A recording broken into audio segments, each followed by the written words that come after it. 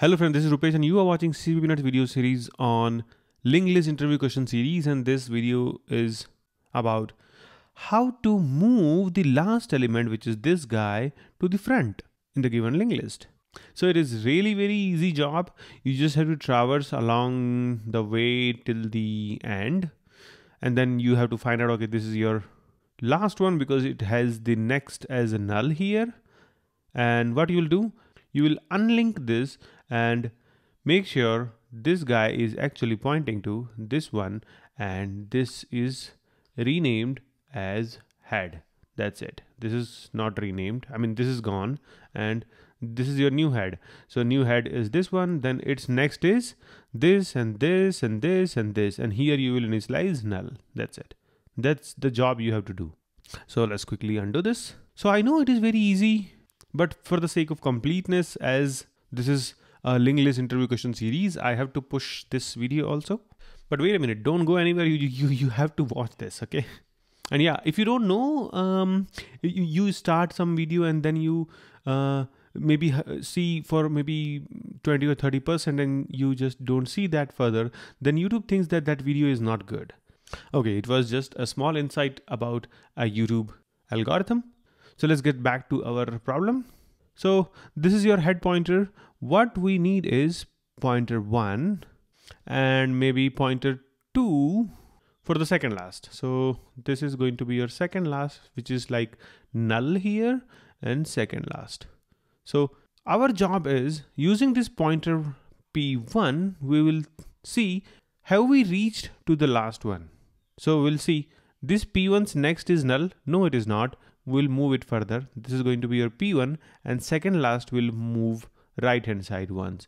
So now this is your second last. The same check goes here. Is this node's next is null? No, it is not.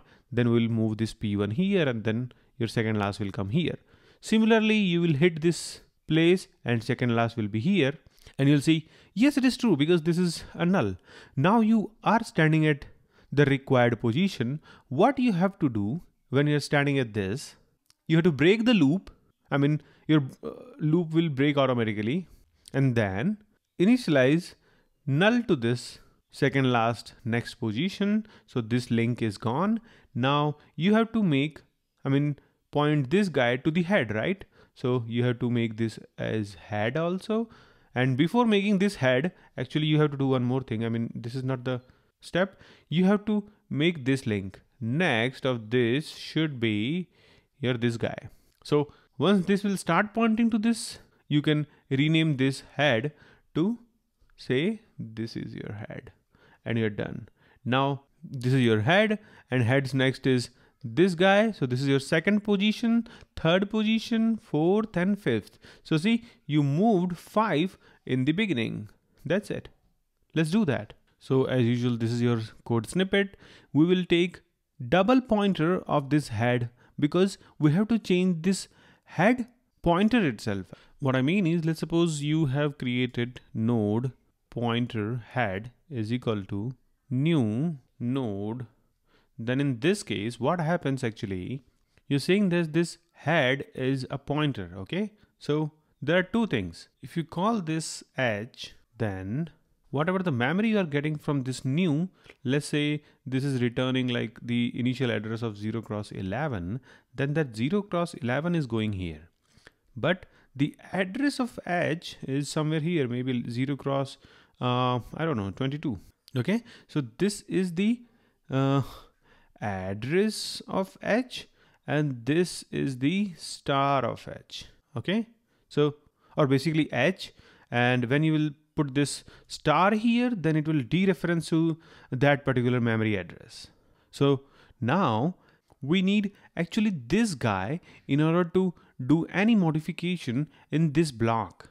Because we want to say that this 5 is a new head okay? So this 5 is let's suppose 0 cross maybe 1 5 then this 0 cross 1 5 should come here like this 0 cross 1 5 and if we will only send uh, I mean not send uh, the double pointer meaning the address of this head. If we would have only sent this uh, 0 cross 11 here meaning just the address what we received from here then we would have never been able to change this place so that you can reinitialize this head itself. Because we are supposed to change the pointers itself okay? Like this whole box is now going to become a new head. So i hope you would have understood like why we need double pointer here meaning why we are calling this move front like this. If it is your move front function we are calling it with this address of head. So then only we are receiving it with double pointer here. And we need this particular address so that we can initialize here this 0 cross 15 okay? Then only this head will start pointing to the new memory location otherwise it won't. So this was about this head double pointer thingy and then let's go ahead. And yeah if it is double pointer then to dereference that to that particular memory you have to use this single pointer every places wherever you have this head reference. So it's like you have to bear this pain. Yeah. So this particular if check is very simple check. We will check if this head i mean whatever we send is equal to null or if it is the only linked list i mean it's the only node in the linked list meaning only one node in the linked list then there is no point right? So if that is the case then we'll just simply return from there. And if these two cases are not there then we'll go further. And i was telling you right we will use a second last element and a pointer p1 so second last was somewhere here and I said it is pointing to null. Correct? So see we have initialized to null and head reference is going to be a pointer p1 so we are making this as a p1 and this loop is what I was talking about. We'll iterate over this whole linked list using this loop and keep changing this second last to p1 and then we'll make this p1 to point to next one. And then we'll see if p1's next is not equal to null then only you go ahead. Otherwise stop it so you will reach here when you will have P1 here and second last here.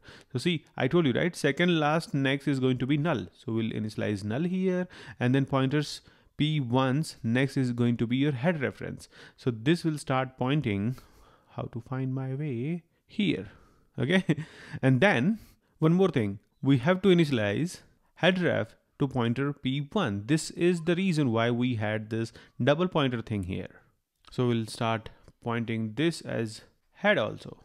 Okay, so we are done. Now this is your head, this link is gone.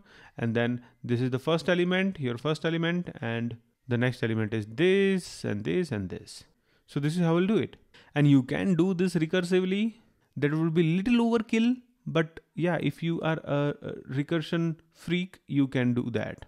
I like recursion so much there was a time when I used to think about the recursion whenever there was any loop. Okay. So I was like, okay, can we do this with recursion? And that's how I started and I became a little bit more good in recursion because the more you practice, the better you would be. So I guess you have understood. Oh, this is like, oh my God, Angry Bird, right? Yeah.